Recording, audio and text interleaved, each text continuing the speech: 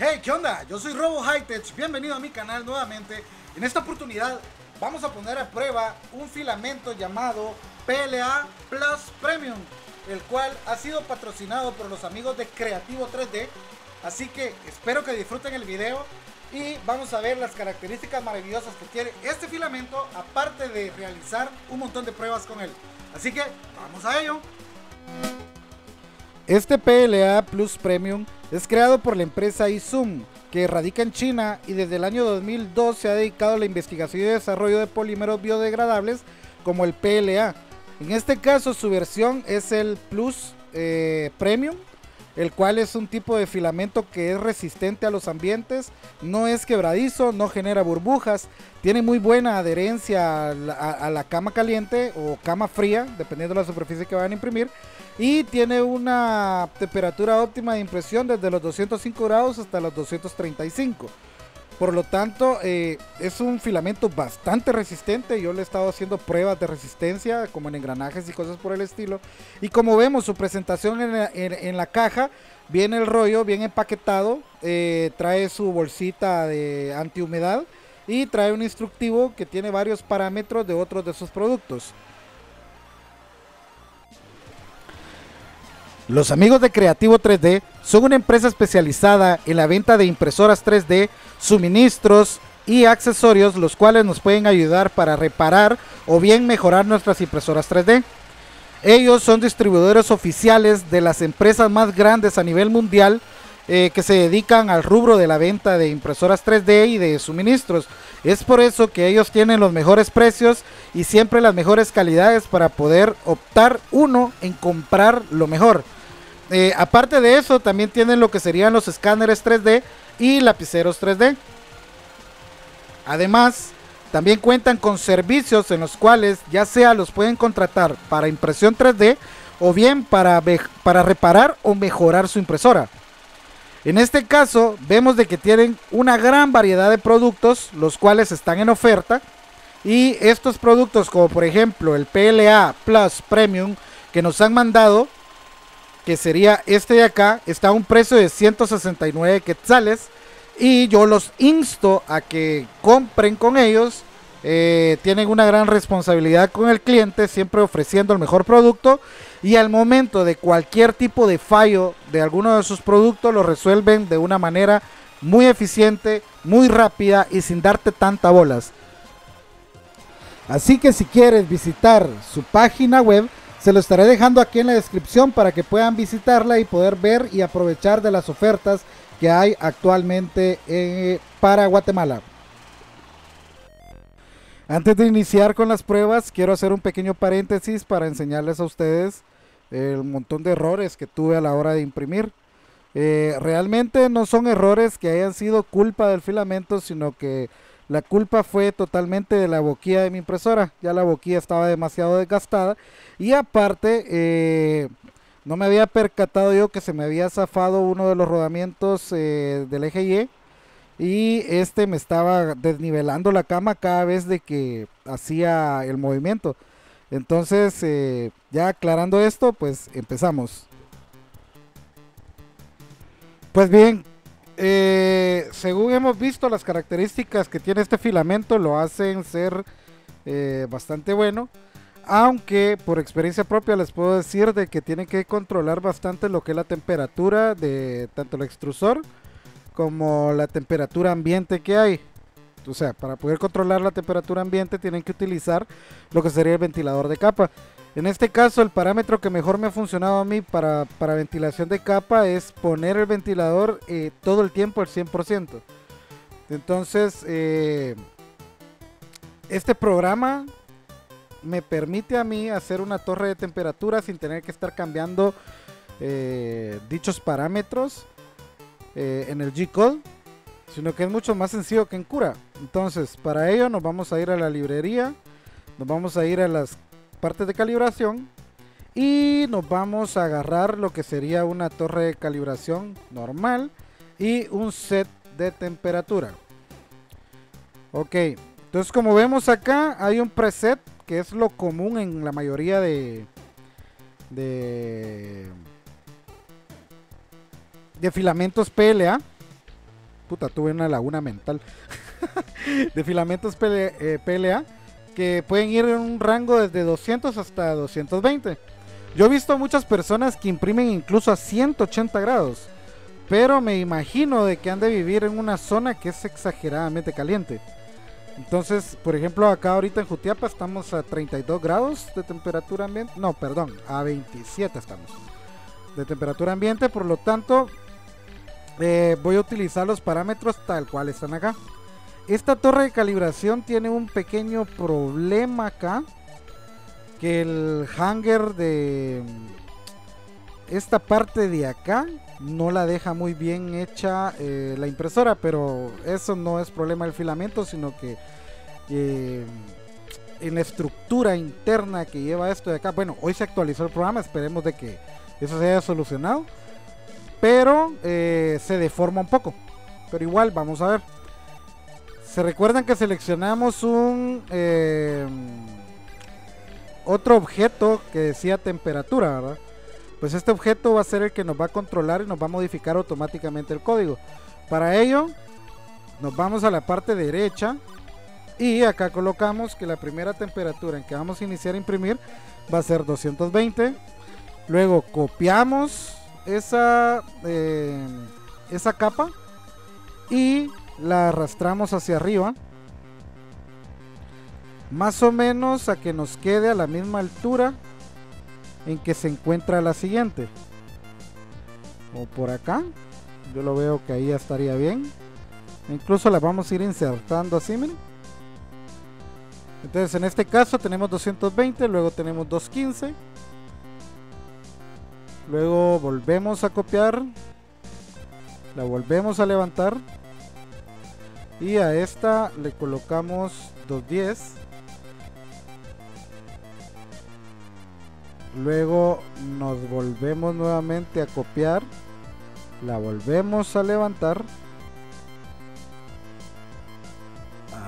Ahí más o menos. Sí, ahí estaría bien. Y esta sería 205.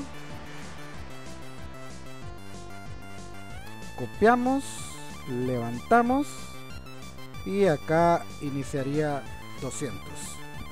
Entonces bien, como podemos observar, cada una de ellas eh, nos muestra tanto la altura en milímetros, eh, no por capas, sino que por milímetros en que se encuentra eh, cada una de estas afichitas. Entonces las vamos a insertar en medio de cada uno de los, de los, escalones de grados que hemos configurado. Y ahí lo tenemos y ponemos a calentar nuestra impresora a 220 grados, que sería eh, los grados con los que vamos a iniciar a imprimir. No se les olvide configurar esa parte, porque si no, cuando haga todo lo de alrededor de la pieza, nos va a sacar un problema de que se va a quedar trabada en una parte y va a empezar a calentar hasta llegar a los 220 grados y luego va a proseguir. Entonces mejor iniciar de una vez con la temperatura. Le vamos a quitar también la balsa. No necesitamos. Ahora el skirt sí es importante para que nos limpie la punta. Vamos a generar el, G-Call.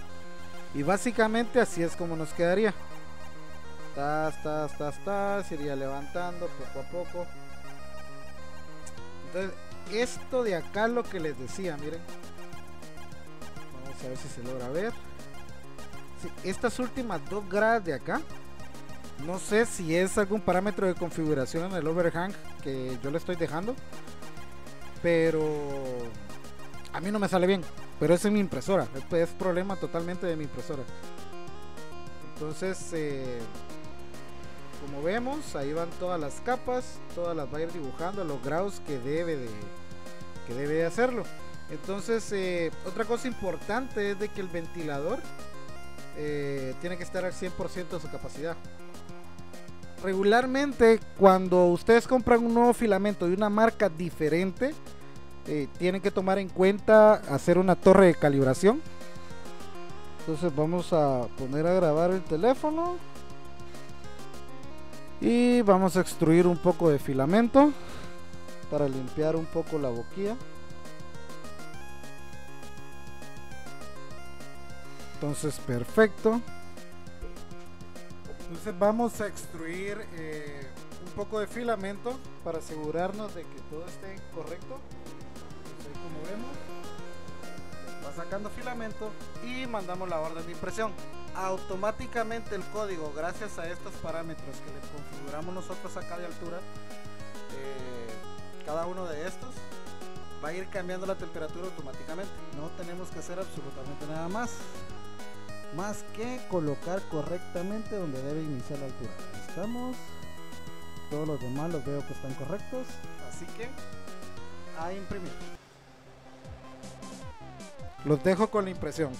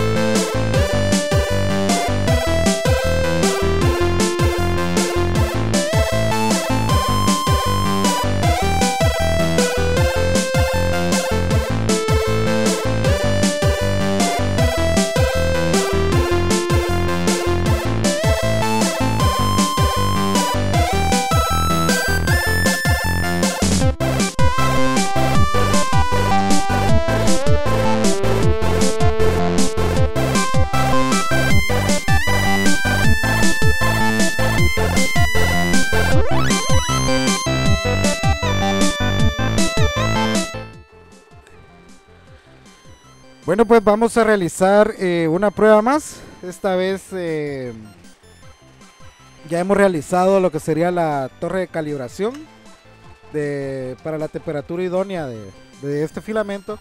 Recuerden siempre que iZoom es un filamento PLA Plus. En este caso estoy eh, utilizando el rojo carmesí. Entonces, este rojo carmesí tiene un poco de dificultad respecto a la temperatura no significa que no se imprima bien, sino que tenemos que tomar en cuenta varios valores, como por ejemplo la temperatura que hay en el exterior. Eh, también tenemos que tomar en cuenta la temperatura del nozzle, eh, la ventilación de capa. Son muchas cosas las que hay que tomar en cuenta. Pero les quiero mostrar, este es mi programa el que yo uso, es el Mater Control. Eh, en este caso la versión 2.21.4.10904.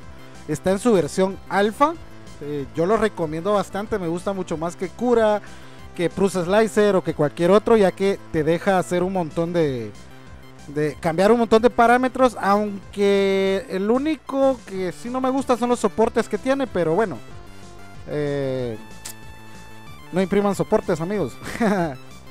Entonces vamos a hablar un poquito acerca de los parámetros eh, de impresión. Este es un pulpo el cual regularmente en todas las páginas recomiendan que se impriman a una altura de capa de, fina de 0.1 milímetros, pero en este caso yo estoy utilizando una boquilla de 0.5 milímetros con una con un Z offset de menos 0.3 milímetros. Por lo tanto, la altura recomendada más, eh, o sea, la, la más fina que puedo utilizar es 0.25. Eh, Incluso puedo llegar a 0.2, pero en este caso quiero hacer la prueba con 0.25. Va a tener 3 perímetros, va a tener 4 perímetros para el top y 4 perímetros para el bottom. Y además va a tener un 30% de relleno. Algo que quiero aclarar a la hora de imprimir este tipo de piezas es de que dependiendo de, cómo tengas nivelada tu cama y dependiendo también de la, de la base de la cama caliente, eh, si no estás utilizando un fleje magnético que tenga una superficie, uff, tochona y toda la onda, sino que estás como yo imprimiendo sobre un vidrio, eh, yo recomiendo primero usar cinta de carrocero y segunda, utilizar lo que sería este pegamento. Este es un pegamento Pritel que venden en las librerías. Por favor, no compren de uno que es chafa, que es más barato, que es amarillo, porque se nos sirve. Entonces lo único que tenemos que hacer es aplicar una fina capa sobre, sobre la superficie. Eh, a veces las piezas quedan en la parte de abajo manchaditas, pero solo con un poquito de agua que se le aplique ya se le va. Entonces, lo que quería explicar de esta pieza es de que al tener tantas piececitas chiquititas, pueden encontrarse ustedes con el problema de que se van a levantar. Tal vez en la primera capa no, pero cuando esté la segunda capa marcándola, eh, en más de algún momento se puede llevar eh, alguno de estos, eh, ¿qué? Digamos, dedos.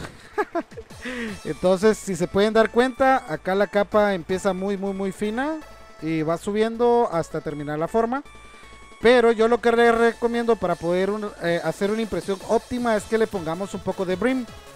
Brim es algo así como una balsa, pero es una balsa externa. Eso quiere decir de que no nos va a imprimir abajo de la pieza, sino que nos va a imprimir más filamento en todo el contorno.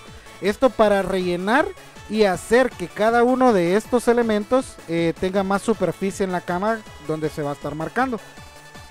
Entonces, le vamos a dar slice para que nos convierta a brim. Entonces acá, como vemos, ya nos hizo lo que sería como que una extensión de cada una de las partes para tener más superficie de adherencia. Y si se dan cuenta, la pieza va a estar imprimiéndose sobre esa superficie. Entonces, lo segundo para iniciar una, una impresión buena, por así decirlo, es verificar que nuestro filamento esté extruyendo correctamente por la boquilla.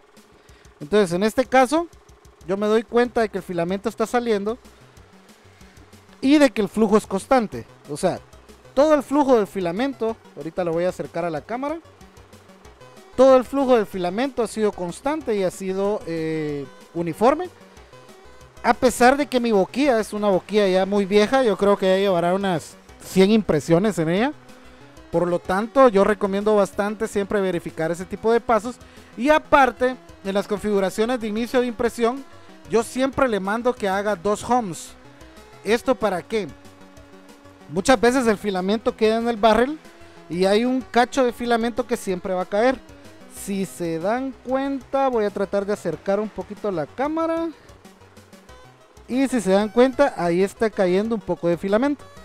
Entonces, voy a mandar la orden de impresión. Ahí quédate. Ahí estamos. Y se van a dar cuenta todo el procedimiento que hace.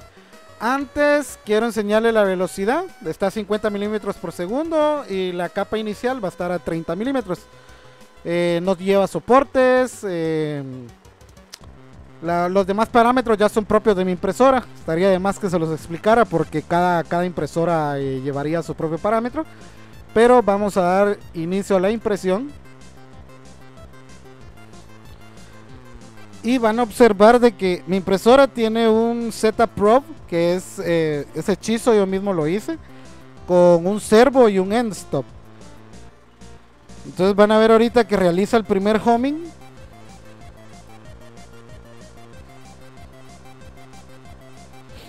Vamos a bajar un cachito más la cámara ya que va a estar más abajo el, el voladito ese. Entonces, cuando ya vaya a hacer el segundo homing, con una tijera, no con pinza, sino que con tijera, recogen lo que es el, el filamento que salió de más de la boquilla. Esperan a que realice el segundo homing y si en el segundo homing ya no ha salido filamento, pues lo pueden dejar. Aparte de esto, esta impresora tiene eh, una autocalibración que lo hace por medio de un grid de 9 puntos. Así que los voy a dejar con el video y espero que los disfruten. Lo voy a acelerar un poco y siga, seguimos con lo demás.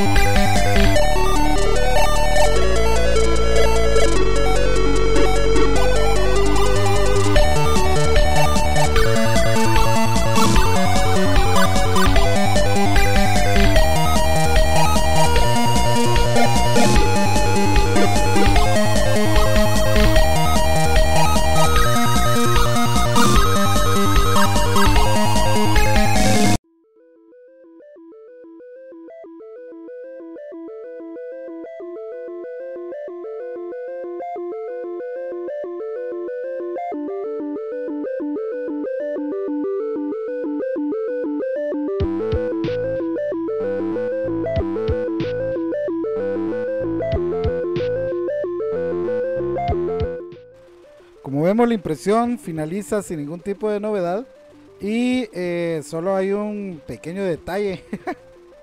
Cuando lo estaba quitando con la espátula resulta que empecé a levantar lo que era el eh, la cinta de carrocero, pero eso fue porque por la rapidez, o sea, por, quererlo quitar rápido, eh, me la pasé llevando. Pero si se dan cuenta, es muy fácil quitar el brim. Realmente con una pinza se quita bastante fácil. Y ahorita van a ver el resultado. Realmente quedó bastante flexible, está impreso en una sola pieza. Eh, los acabados están muy, muy, muy buenos, la verdad. Miren la parte de arriba. Así que vamos con otra.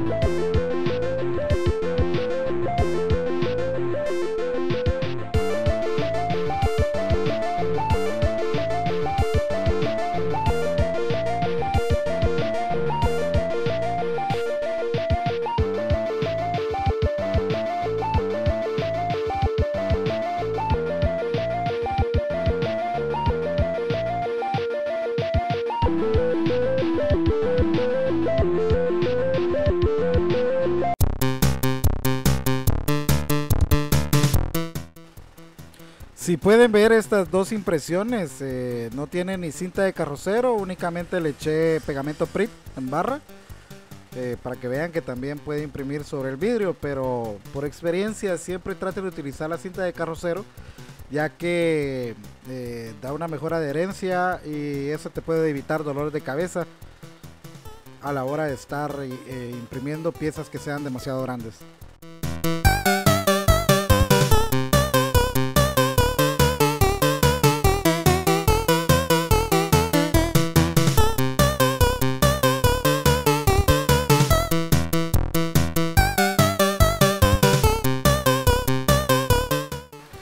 Con esto pues damos por finalizado el video. Espero que les haya gustado. Por favor, eh, si les gusta mi contenido, denle like, compartan.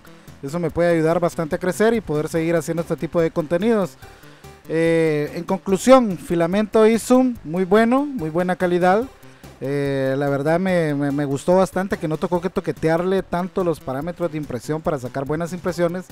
Aunque algunas de las que realicé en mi impresora, la que yo tengo hechiza, pues salieron con algunos desperfectos, como un poco de Z-banding, un poco de ghosting, un poco de...